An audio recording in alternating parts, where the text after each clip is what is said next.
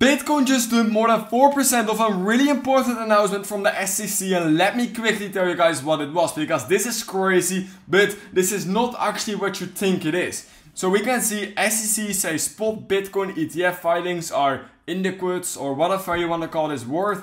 It's a really hard word but what it does mean is that we're not getting a full rejection or, or, at least we're not getting a rejection now. They could also still reject it later, but for now, they are just saying that there's something wrong with the filings and they can just reapply. And this guy shows it really well. SEC says spot Bitcoin filings are in the quotes, but BlackRock and all other big hedge funds can still refill for the BTC spot ETF. This news is noise in my opinion, he is saying, and then he's saying the SEC told the exchange that it turned the filings off, so they didn't accept it immediately simply because they didn't name the spot Bitcoin exchange which they were expecting to use or which are going to use. So because they didn't name one thing, one uh, of the where they're going to use the exchange, they immediately everyone thought they were going to reject it and it's just madness. That's why we saw 4% dump on this news. But if you know what it actually means, then we all can agree that we're just going to, uh, BlackRock is just going to reapply and they're going to give some more information. Then we're most likely getting an acceptance.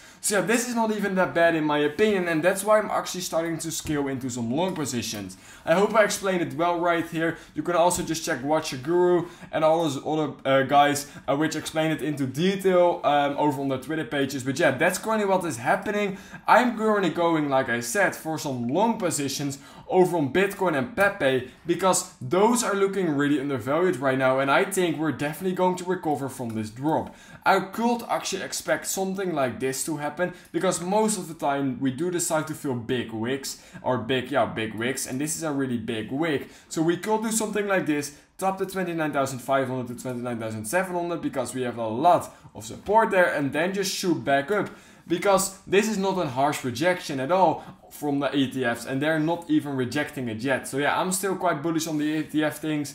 Um, even if they do decide to reject it, I'm still not bearish at all because Bitcoin will get to $100,000 with or without institutions and big firms and hedge funds and all those kind of things. So yeah, I'm still really bullish. And yeah, like I just said, this is not really bearish news at all, but people just thought it was bearish news. That's why we're dumping so much.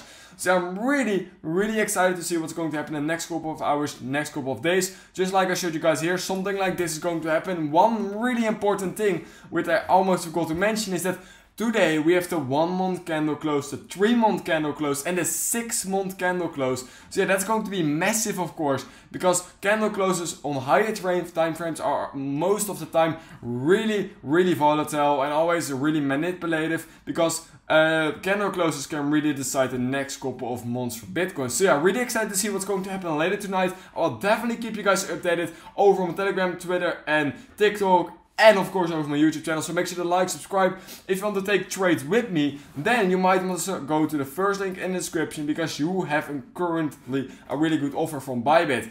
I'm currently using Bybit to long a lot of coins right now. And if you sign up using the first link in the description, you will get up to $30,000 in the deposit bonus simply by using my link. So yeah, make sure to go to the first link in the description. That being said, I hope I will see you in my next Bitcoin video.